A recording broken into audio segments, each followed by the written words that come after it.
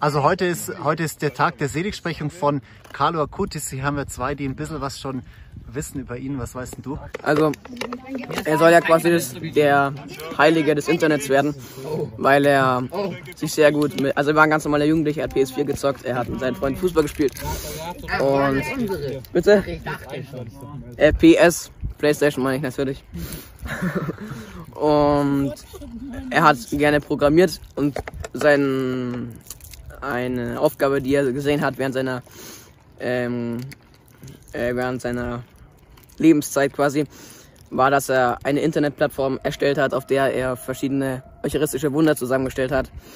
Und weil er mit seiner Familie viel gereist ist, hat er da Fotos gemacht von den ähm, Wundern und dann einen kleinen Text, Text, Text dazu geschrieben. Und wie sieht sein Grab aus? Gut. Mm, es liegt in der Sissi, in einer Kirche. Ich weiß nicht, wie sie heißt. Auf jeden Fall ist es eine Kirche. Eine ganz, in einer ganz ruhigen Stelle. Da fahren fast nie Autos vorbei. Mitten in der Stadt. Mm, es ist ein weißes Grab, umschlossen von einem Glasfenster, wie ich mich erinnern kann. Ein ganz weißes Grab.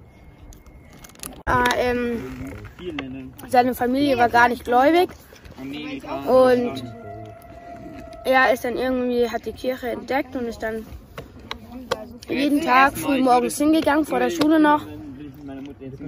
Und dann ist er mit 14 irgendwie gestorben und jetzt haben wir ihn vor ein paar Wochen aufgeweckt, also das Grab angeschaut und der ist unverwüst.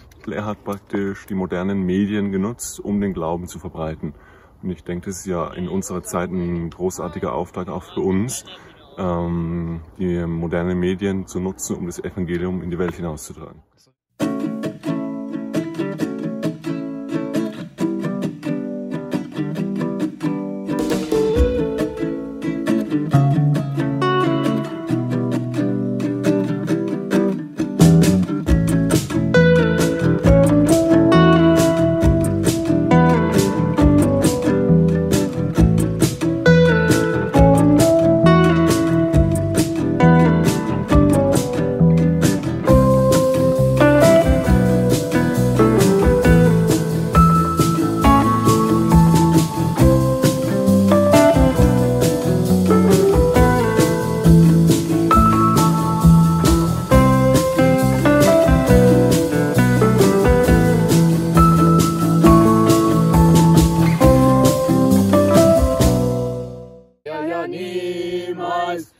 Liegen bleiben bis zum Gipfel steigen, Pfadfinder in Europa, alle Zeit bereit.